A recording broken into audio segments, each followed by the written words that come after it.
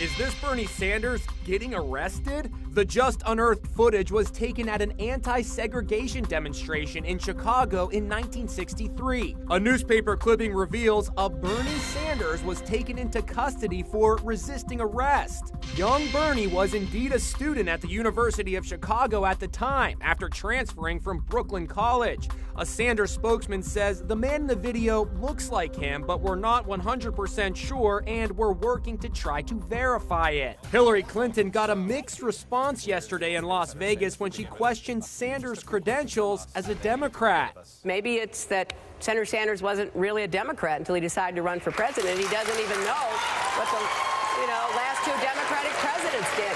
And I'm, you know, I'm, I'm well, it's true.